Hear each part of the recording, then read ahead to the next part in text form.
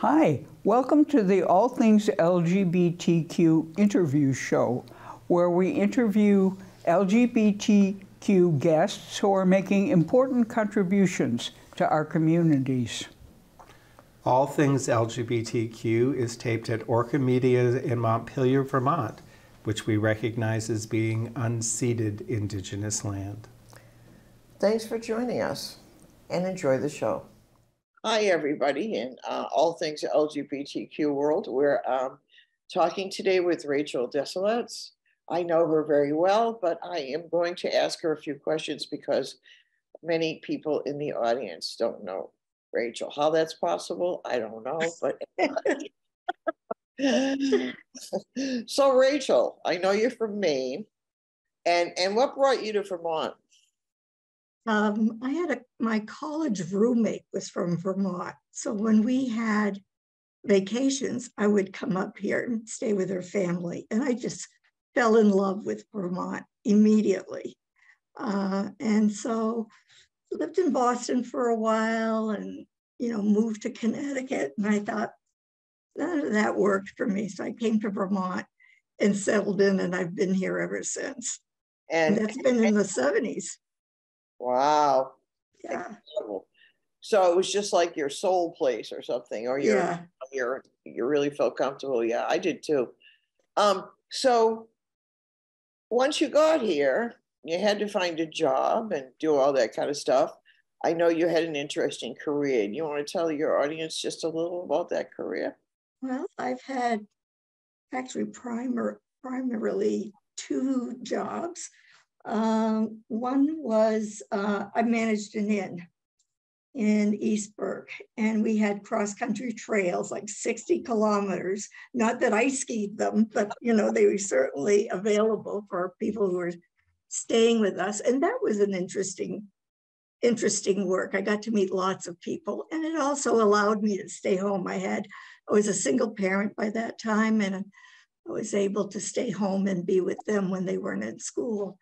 And then the other thing that I started, that sold. And so I started doing social service work and working as an advocate in the battered women's movement. And that was fairly new. I mean, it was like we were really building it up at that time because very few people knew what it was. They didn't, if they did, they didn't talk about it. There was very little um, acknowledgement that it did happen uh, or it did exist. So, um, and that work, I did that for quite a few years, and that progressed over the years as things started changing. Um, then our work started changing as well. And we got pretty, because we couldn't afford, I can remember when I first started working there, we had one telephone in the middle of the desk, and there were five women sitting around this desk. And when the phone rang, we all took turns because we couldn't afford, you know, five desks or five phones. Yeah. So it sounds like so crazy to have to live under those to work under those conditions. But we did it, and you know, I think we did a lot of good work. Yeah. And so I, I gather from your work and and your life and knowing you that you're an activist in the community as well. Yes. one of the founding members of Rainbow Umbrella from Central Vermont. And um, so we, me and Ann and your partner Paulette and you started the Rainbow Umbrella of Central Vermont. And so do you want to tell our audience why we did that? And, uh, you know, what was the catalyst for that? Well, I think the catalyst was really that we were getting older and traveling to Burlington, for the most part, that's the only place that was holding events and activities.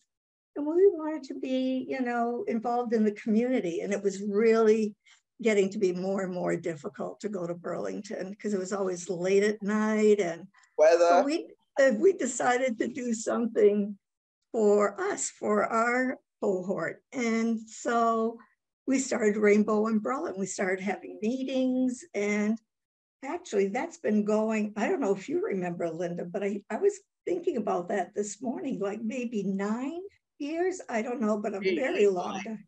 Yeah. Yeah.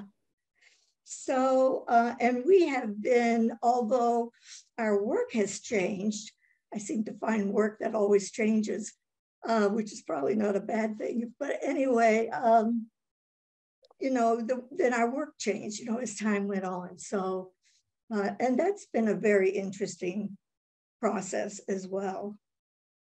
I know So- it started out as kind of a social group, and there were lots of people. I mean, we met so many people from this area and still have contact with, which is great. Um, and then as Trump came, it Yeah. became more of a political group at that at that time, although it did have both components. Right. Yeah, we did change our focus from, you know, social activities. Because there was a lot of concern about Trump being president. And because Vermont is such a small state, it seemed like there was no reason why we couldn't come together as a state and to look at and protect some of the rights because we were really concerned about losing some of the rights and some of the progress we had made over the years. So we started an alliance, a statewide alliance, and we did work together. And that was really, uh, it was a nice way to bring us all together. It's a small state, but we're also, it's not like our neighbors. If you're going to Bennington, let's say, you're still traveling a couple of hours. So it was a nice way to bring us together. And even during COVID, we were meeting, uh, you know, thank goodness for Zoom. And, and, and the work continued. And we also had a couple of members who were liaisons to the governor. And so we were able to, you know, keep on top of what kinds of legislation they were looking at, making sure that language was the way that really spoke to who we were and what we needed. And I think that was really, and Keith and Brenda were part, or the two liaisons, and Keith had been involved with the uh, legislature for a long time. So, And for the people who don't know, it's Keith Goslant and Brenda Churchill, correct? Who and Brenda yes, Churchill yes, was was liaison to the governor, correct? Right? yes, Yeah, yes. yeah. Yeah, And uh, so that was a great service right there. yeah, definitely. And I think, you know, I- it was also, it, we, because we had to sort of figure out how we were going to work together, because every organization has its own little quirky way of doing things. And, and that was, because I'm all into process. I'm really interested in how things manifest and where they go. And, and so that was interesting. And the thing is, we are not, Rainbow Umbrellas are grassroots. Uh, we started as a grassroots organization, so we don't have paid staff. And I think now there might be a couple of other organizations, like I think Bennington is also organized uh, through grassroots uh, philosophy, but um, you know, everyone else has brick and mortar. They've got money to be able to hire staff. So, you know, you were really have you were having to work with people with different abilities and also, uh, you know, people just learned to what was their strength and tapping into that and being able to have a nice working relationship. Yeah, because even though the state is small, the the demographics of different communities can be really, really different. Yes. Um, you know, Rutland's different from you know Montpelier. I mean, it has its own kind of uh, personality. yeah. You know, and so it was really important to be in touch with what was going on in other parts of the state. Yeah, you're right. And the other thing, too, the other challenge for us in Vermont, and it's also, you know, a, plus because we moved here because it's rural, right? It's not densely populated. And that is one of the things that draws us to Vermont. Yet to do the kind of work that we're doing presents us with a challenge because it's really very difficult to get into those outlying towns. So, Yeah. uh, Lots of Yeah. people are isolated in the country. Um, you know, uh, especially older LGBTQ people. So yeah, So I know it's been a lifeline to many people in the community. So I'm glad Yeah. I'm glad you're doing that. Um, Yeah. movies. Now we're going to get into movies and your involvement. I know in um, the Savoy doing a what are they calling it now? Do you know? Like, is this the pri uh, queer Montpelier, movie? Montpe- Montpelier Pride is the umbrella for the whole Okay. weekend, the first weekend in June. And then my role is working with the film committee and we're doing a film festival. So that's been pretty exciting. And that's why I was interested also in coming onto your show because you and I have been going to movies like to Yeah. the go-to Savoy Theater in Montpelier, which is the Savoy. And, uh, you know, we've been doing that for years. And then after the movies, we'd always, you know, just chat about the movies and have some, you know, good conversations that would either dinner? Yeah. enhance the experience or it changed our mind about the, the film. So, Yeah. you know, I think that um, being able to do this and with you, it just seemed like a natural fit because, you know, we were like, you know, it, it was just something that we had been doing. So I really appreciate you doing that. And so, how did you get involved with this particular group? Uh, Well, um, we wanted to, well, let me step back. I think you just love before. movies. I love movies, yeah. Yeah. And, and uh, but one of the things is the other thing that Rainbow Umbrella did is that we started organizing a film festival like three or four years ago. And COVID came, Yeah, and here we were spending months and months. I mean, the nice thing about it is we got to watch a lot of movies.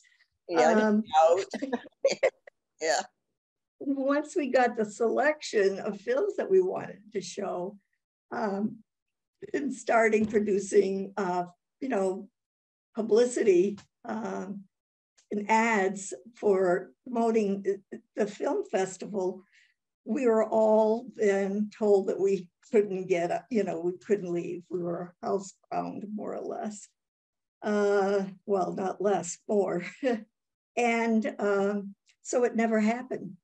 And then when this came along, I thought, hmm, this will be a nice way to bring that film festival to a close as well. So I really jumped on it and it's been fun. I've been working with some really gifted and some really talented people.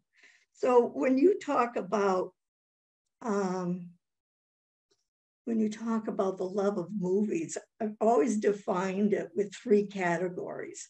There are movie fans, and then there are movie or film lovers, yeah, and then you have your cinephiles, right? Yeah. And I don't know that I know enough to be a cinephile, but that doesn't stop me uh, Yeah. from going to films because there's always so much to learn, and it goes beyond just the theme of the film, but also you start looking at the cinematography, you know, and, and, it, and it, becomes, it just enhances your experience of watching a film. So I started working with uh, these talented people, and they were really committed to having a good program and one that was expansive so that it could showcase queerness uh, in front of the camera, but also behind the camera, because we have a, a film where the two directors are queer. So, and people, a lot of people don't know that. So it's that kind of thing, I think, where people will learn more about these films as well. Uh, because after each film, we're hoping to have a little, either a Q&A or a discussion. So, um, how many movies are there going to be shown? well, we have one starting on the Friday. I, let me think of what day is that? That's June 2nd. Okay, June second. Yeah, and so what we're doing is featuring The Matrix, which Uh-huh. I'm probably the only one who hasn't seen it. but I guess it's a you know a, a big film that people are really enjoying, and we're also hoping to get younger people to attend the Savoy and also to be involved because some of these films really speak to them. Yeah. So um, I think you're going to be pleased with the range of films that we're showing. But that's going to be the first one. And, and, and the others? Uh, have you then, well, we have some more on, on Sundays. We'll be all afternoon, Sunday afternoon. But before that, on Wednesday, there are going to be events all day long in Montpelier City. And I think, isn't Cal coming to do a show with Anne to talk about that? Because I know very little. I think he has an interview with Anne um, yeah. to talk about the activities on Saturday. But on Sunday, again, I don't have times because that's like uh, in the future. In the future, it's a work in progress. And yeah. we'll have, hopefully, we'll have posters next year, next week, uh, showing the films and also the times. But one, the first film I think that we'll be showing is, um, oh, Liz and the Bluebird. I've oh. I've never heard the other, I, and I'm learning a lot from these folks uh, who are on the the committee. But it's an animation, and that's pretty big as well. And it was interesting because I was sort of looking at what we were organizing four years ago, looking at it through the lens of seniors, right? Because it was Rainbow Umbrella who was sponsoring it. Absolutely. And, and now I'm working with a completely different team of people. And so the films that are coming forward are films that I've never seen and also possibly don't know a whole lot about. So yeah. I'm being introduced to things like anime and manga, and it's like they're so patient in teaching me all of this, and, and it's really exciting. Yeah. So that that's going to be the first one on Sunday. I, another film that we're going to oh, and that one is PG uh, content rating also um, for your viewers who are wondering whether or not this is for kids because kids are really into animation. Um, another movie will be Paris is Burning, which is our one documentary, and that focuses on drag queens in New York City uh, in the mid to late 80s. Uh, and then, of course, this is my favorite Desert Hearts. And too. yours too? Oh God. I, I wish we had known each other back then. I know that movie was out what in the 80s, early 80s? Yeah, 85. Wow.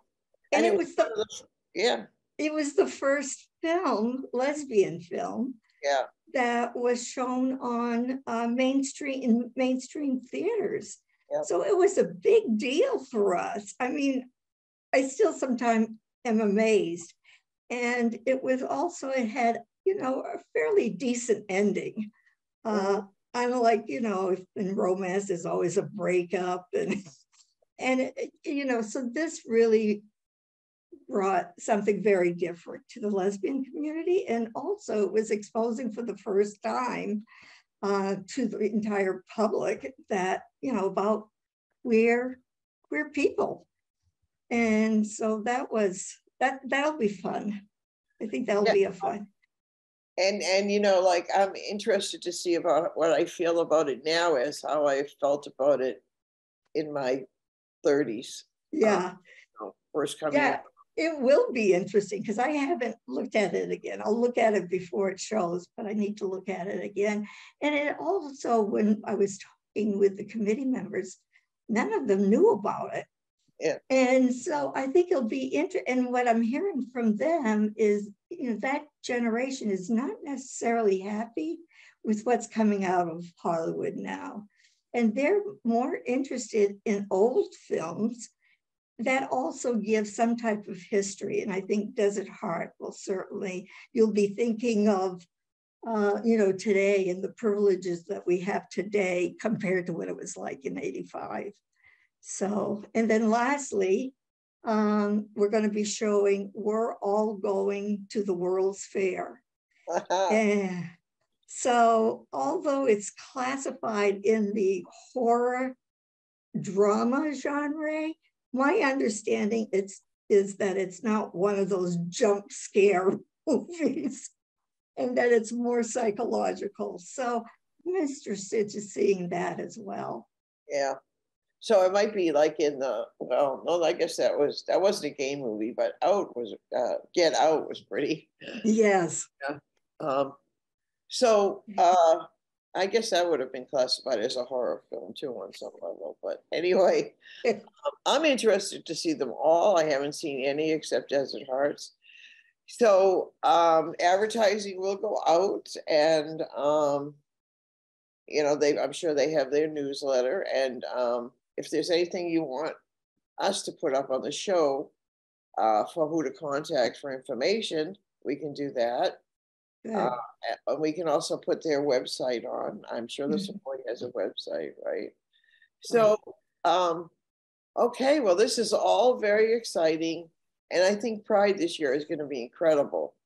I think um, so too. There's all kinds of stuff going on, and people going are making huge efforts. Yeah. get this off the ground. So, and oh. if I can just add one more thing yeah. with the with the Desert Hearts movie, Rainbow Umbrella has donated money to the Savoy so that anyone in the you know LGBTQ community who can't afford movies, then this will help a little bit to get them in because we really are committed to make things available and accessible to to yes. the entire community. So thank and you for letting me plug, make that plug. And they're also doing a panel, right? I forgot about yes, yes, yes. You, you, and I, believe it or not, we're still stuck together. we're still going, girl. Yeah, we're still, we're still there. We're in. yeah. So thank you so much for coming on and letting our audience know about the festival and uh, the other activities, and uh, we'll direct them to the right place. And thanks, Rachel. Oh, thanks, Linda. We'll see you at the next. What is it? What did Ebert and Siskel? How did they end there? Yeah.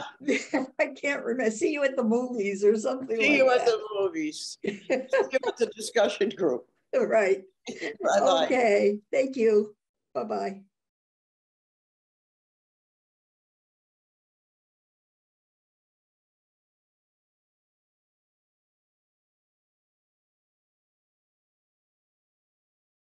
Hi, everybody. I'm here with Kell Arbor, uh, important person around Vermont. Kell has more energy than a lot of people I know, certainly more than I. Um, welcome, Kell. Thanks so much for having me, Anne. You know, I was looking at our, I was reviewing old shows, and this is your fourth appearance, I oh, think. Oh, really? Oh, that's so funny. Did I do one as Vermont Cares? You did one as Vermont Cares, you did one as the Pride Center, and you did one as the Central Vermont Pride. Oh, yes, yes. Which is the incarnation you're inhabiting today. Yep. Um, this is exciting times. I have to clarify, we're taping on May 11th, and the festival is going to occur on June 3rd. Mm-hmm. And this show is going to air on May 27th, awesome. right before. That's so cool. everyone can, you know, prepare. Yeah. So I don't know if all the details are entirely nailed down, but uh, let me describe it as you've described it thus far on Facebook. Montpelier Pride Fest, Saturday, Saturday, June 3rd. Uh, kicking off with a sidewalk parade at 1, music, lawn games, hangout, nonprofit resources, and more. Events all week. This is so cool connecting to Barre Pride June 10th. Come out and wiggle your rainbows. Um, you mentioned the Pride Center Vermont calendar, events calendar for full coverage. Um, and you also mentioned community hosts and sponsors, including Fox Market, Rainbow Umbrella of Central Vermont, a worthy organization, if I do say so, the Savoy Theater, uh, Bar Hilligan, mm-hmm and um, the Vermont Symphony. And I know a lot of people were drawn to the symphony component last year. So this is great. Super excited. We were so grateful that the symphony could get another grant to have another free concert. It was one of our most well-attended events last year and a lot of intergenerational attendees, which is always great to see the love of music and art intersects all of our communities. Exactly. Um, I want to ask you, you and your colleague Elaine Ball were sort of responsible for doing it last year. A very um, successful Pride Fest on the State House lawn. What have you? What did you learn from that experience, and what are you? What are you going to do differently this time? Do you think? Totally. We last year, um, Elaine and I connected. I had done a queer field day on the state house lawn really casually a couple of years ago and just always notice how simple containers bring us together to let us emerge with what we need to have some activity i call it activity light. We've got some stuff going on but it's really to get together. And then i heard elaine was out there trying to brew um, reinvigorate montpelier pride which has happened way back. And there was the Stonewall gathering that you all had hosted, and we have a large rainbow community. So Elaine and I um, had many community convos with not a lot of other organizing core people, but we've gotten a lot of community feedback. I've been doing bike rides through Montpelier. Um, we kick off on Friday night with a queer critical mass bike ride. And for me, that's been a long standing really fun event around Montpelier. We had 50 riders come out for that last year. It was amazing. And to bring in the Savoy Theater to do another film fest, we're always excited to collaborate with James and the Savoy. So we knew those were things that worked last year, but adjusting the um, the film fest with the Savoy, that there were more community collaborators. So I've been poking people around specific events not a lot of folks want to get involved at the like core core. That's part of why Pride Center took it on as a program last year was to help hold some of the structure with tent permits and insurance. Exhausting. The boring stuff, the boring stuff.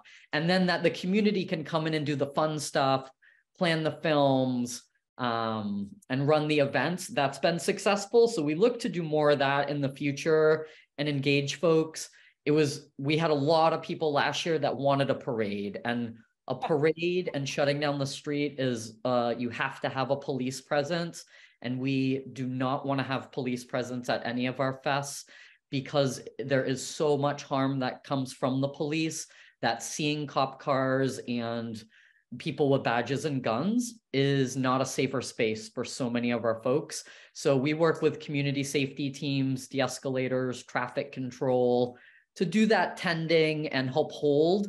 And then we're doing our parade as a sidewalk parade. So we don't shut down the street. We take the sidewalks. And then during the Main and State Street intersection, there's a 15 second all stop at the intersections. We did a 15 second flash mob dance party. it was just so fun. So I love to encourage those edges of staying within legality, but pushing the edges of how we take up space. And that was something that we brought back again this year was the parade, and it's going to kick off the fest. So we'll organize and parade at one o'clock, and then we'll circle back to start the music and other entertainment and um, resource tabling at the State House lawn. We've got a few different musical performers. We're still locking in some of our um, performer acts, and then we've got a handful of resource tablers, Planned Parenthood, ACLU, Mosaic, Washington County Mental Health Services. Pride Center will be there. Um, we did not have enough rainbow flags to sell last year. We didn't bring any out really to sell, so we'll do that this year so that we'll have some. We've got the Progress Pride flag and the trans flags and the non-binary flags for folks that want to purchase day of. So that was an adjustment. It was a community ask to have the Barr Hill party last year. So we worked that in with the budget as an after party on Sunday, and Dyke Night in Burlington's gonna host it. So it's open to all genders, but to have Dyke Night um, help host it will be a really fun collab with Barr Hill, and then Savoy will do a Sunday film fest too. Fox Market has a dance party Saturday night, and the Symphony moved their show to Saturday night. So that will be a nice all day Saturday with the fest, the Symphony, the dance party. And then there's the poetry event that Rainbow Umbrella is co sponsoring with Robin Joy. There's the one at Kellogg Hubbard on the 7th, on the Wednesday in between. And then I hope there's other small community pop up stuff during that week into the Barre Pride on Saturday, June 10th. They have a drag queen story hour. There's another bike ride that weekend. So I chat with Erica and we try to collaborate. We set those dates weekend back to back so that folks could enjoy more of a central Vermont presence. I know Plainfield's doing a big queer craft fair in late August with sort of a festival appeal. So it's cool to see the small ones pop up. And we've kept Montpelier on the smaller, like, let's keep it simple. We love badminton. We love our local resources, but we can't sell stuff on the State House lawn anyways. And we don't want big for profit rainbow washing. This is for the community and centering what we need um, and giving people some access. We'll get that big tent again um, from Natasha um, and Ethan Bogar. Beautiful homemade tent with maidenhair maidenhair ferns screen printed on it. So there'll be some shelter from the weather. We learned what folks liked last year and just like observed what was like easy, who are our go-to like hangout spaces that we already love and enjoy and building up our partnerships there and keeping that um that the mic is it's not a speak out day this is a day to really just enjoy and gather and have fun and celebrate to have no political speakers at the mic. I saw political folks last year they came out to the bike ride. They were working the crowd in that relationship way and for me that's more impactful. They had their shirts and they marched in the parade with us. That was a nice political gathering and then to focus on art and hanging out together and can they have tables at the uh, festival I yeah, I think we'd be open to like political tables. Elaine, um, through the Facebook page, um, people can connect to me too at my Pride Center email, and Elaine's doing the tabling um, focus. We're really focused on nonprofit local resources, but we're open. We're not trying to gatekeep people out, but we are trying to be really mindful. Last year, we didn't put anybody's logos on the poster because we logos, even one cute logo turns the community off and makes it feel corporate. So we've yes.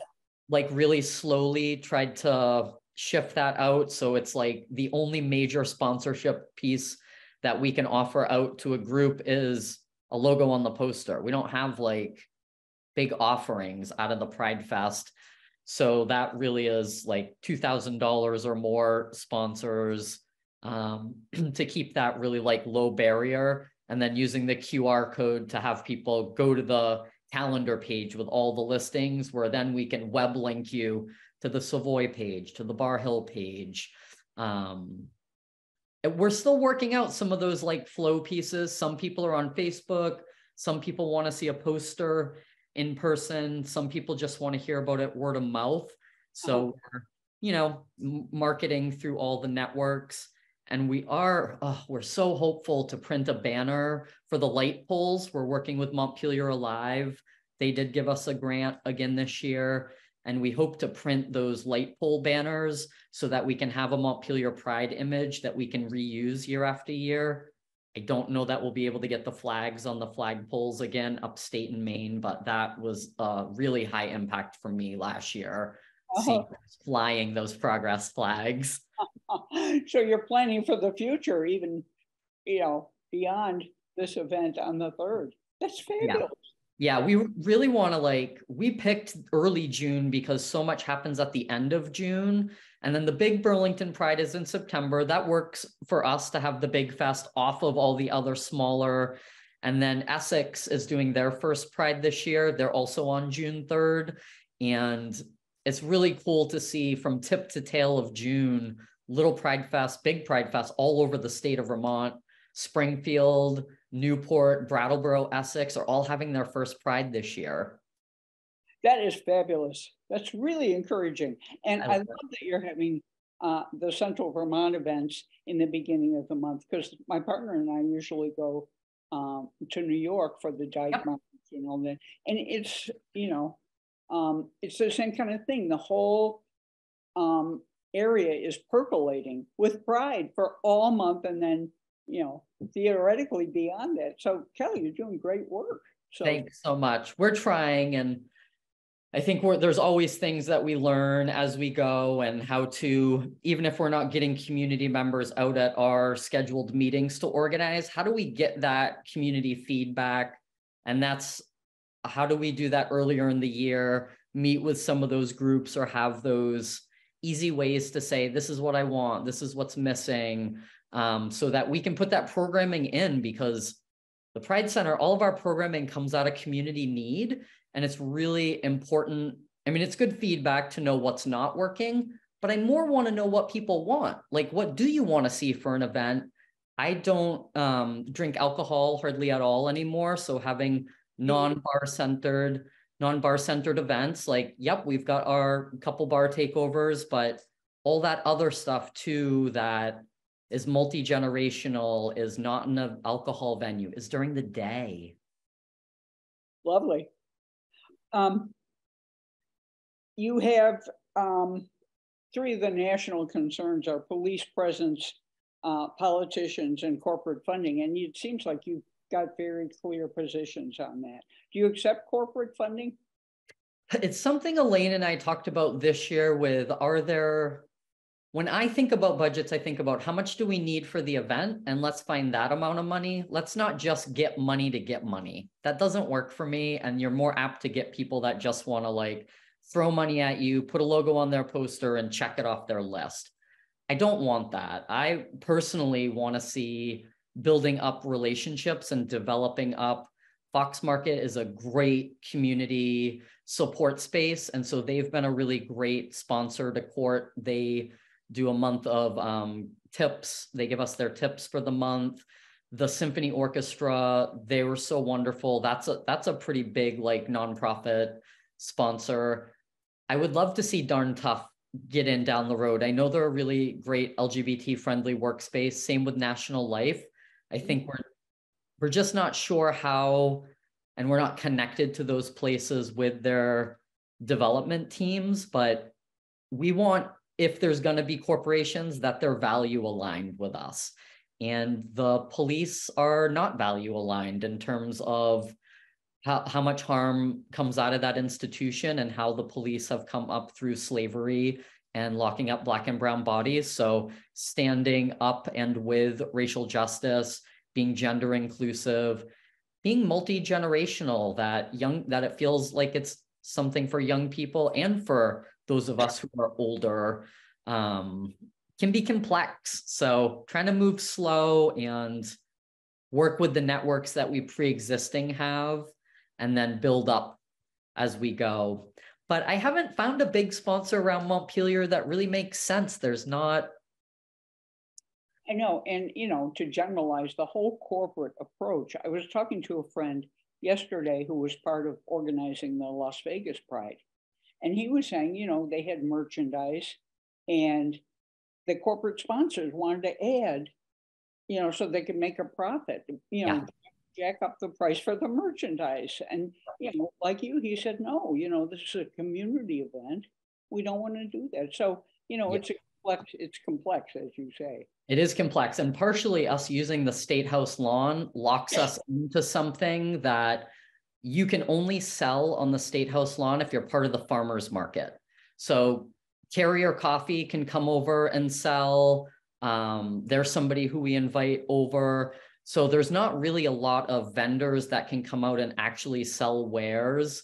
And having that you just made me think about oh um, hannaford i think has been a great example of when i started at the pride center last year i had curiosity around how do we use our rainbow power to help positive peer pressure call in hannaford to just engage with talks around milk with dignity how do we use pride as a carrot was my ask to Mike um, Bensel, our um, exited executive director. And Mike started that conversation with Migrant Justice. And the word from other orgs is we don't recommend you don't take the money, but we were like, but we don't need to take their money. And us not taking that sponsorship, sure, we'll have to find that money elsewhere, but the value of our relationship with migrant justice is so much bigger than dollars. And Yeah. that opportunity to call in Hannaford that we could do some pressure that isn't putting pressure on workers to do a, a strike. Workers shouldn't have to strike. We can community boycott though. I don't ask for donations from Hannaford. I, if somebody wants a food card as an incentive from Hannaford, I will honor that, but I'll also ask, is there another grocery store? Peeling their labels off of donated food could be another strategy too, so that you get the food, but you don't get their branding. hmm hmm That's really good. I'm totally in favor. I boycott a lot of things, but I'm usually just one person. Right, and and how many, I mean, the the Hannaford love tote with the rainbow with the love, how often do I see that out there? Because we want to flag ourselves as LGBTQIA2S plus people, so we carry their merch. But it's a PowerPoint that if I have to shop at Hannaford for whatever reason, I don't have to be branded by Hannaford. Right, right. So back to the festival, are you gonna have one MC? I can't re, it seemed like you had one MC last year. Um, that's an adjustment too, Anne. I always am wearing seventeen hats and then have to do twelve other things. I know. So this year we'll have a, um, somebody running sound, a local person is gonna do the sound. We've got a couple um, local community supports um, for the mic to help performers and just intro the couple of acts. And then um, Elaine will do like a little welcome intro as the parade comes back. And hopefully I'll just be tabling and schmoozing the crowd and hanging out. Um, I remember you distributed water. yes, at one point I was giving out water. Oh, it was great. It was a wonderful service. Yeah, it was so nice. There was a local community person that bought a couple of cases of water for us to give out and a couple of med kits. So wonderful. It's like we there's so much support. We I think we had three to five hundred people throughout the day come through the fest last year. We we put it right after the farmers market, so there's already folks downtown. It's sort of the buzz of the time during the day on a Saturday. Mhm. And it's free parking on Saturdays in Montpelier, so it's that's nice. So it's the parade's gonna start at the State House and then what's its route? It's We'll go down, we start at the State House at that upper road and go back um through the downside. Is that into, is it School Street that goes across one of those bridges? It's like that upper road that cuts like behind, um, goes by the laundromat and then across the bridge to Main Street. I think it's School Street. Um, we'll Yeah, loop that. Yeah, not Elm, but the one just below it, and not Langdon, the one between Langdon and Elm. Oh. And then we'll come down Main Street, break across all four of those intersections to do our little dance moment in the cross. I love encouraging feistiness with the youth. And then we'll continue down the sidewalk and loop back in the front side of the park from the State Street side so that the fest can welcome us back in. We'll parade back into it. We had over we had over a hundred people in the parade last year, which was so cool to see the excitement. So I'll bring my big flags again and we love when people dress up. The youth always look the best. I know, I know. Oh, Cal, this is really fabulous and very exciting. I'm Um, super psyched. What are your last words? Any other comments? Encourage people to come, of course, June third. Yeah, yeah, just to come out to any of the events. For me, Pride is a season of reconnecting and connecting to community. Sometimes we move here, especially through the pandemic, and we don't know anybody yet. So I last year I met so many people that had moved and to be able to do that welcome, that hi, now you know somebody in your local community. We're not trying to draw people from all over, although yeah, that's great. Like it's a cool destination event. I've never been to Montpelier. Great, I'll go for Pride. Uh-huh. But we really want it to be centered around the local, local central Vermont community that if you don't feel isolated, that is life saving. So just knowing that there's rainbow community in your community, even if you don't see them all the time, that really can uh, fuel somebody's sustainability to live in our community. And it's so festive. I mean, there's no, um, at least from my experience, there's no, it's not a cruising scene, it's not a bar scene, it's just fun. It's just fun, and you can cruise if you want to cruise, and Of course, you of course. casually. it was the, the badminton was like I literally had to take the badminton out of children's hands at the end of the day. as soon as I put it up, I was like, "Oh, I love that we love badminton so much. That's so fun." well, Kell, this has been fabulous. I'm very psyched up. I'm certainly going to be there. We were there last time, and um, we'll be again. So, and thank you for doing this. This is a great service for all of us, and it's fun. Understood. My, pleasure, and I I've got to find out the date from Keith when we there is a first pride that happened in Vermont that probably wasn't Burlington, even though there's been a lot of 1983 was the first that was Burlington's first pride parade, but when was Vermont's first pride? So I'm I'm on a sleuthing mission. It feels very aligned for the Pride Center that we would help bolster and hold Montpelier as the capital, as a community that doesn't really have a strong set of organizing in this moment in time. Um, that I could help be that person as someone who lives in that town and works at the Pride Center to hopefully help get those local folks that want to do a long-term pride planning. It's most powerful, I find, when we organize our own events and not for profit. Exactly, not for profit. Underscore. Not for profit. Yep, we are not doing this for profit. We're doing this to be able to get the money to do next year's fest. Mhm, exactly. And none of us get paid, so. Right. know. But it's not about that, as you say. Well, I agree entirely, Kell. You're force for good in central Vermont and elsewhere. So thanks for doing all you do. Likewise, Anne, thank you so much.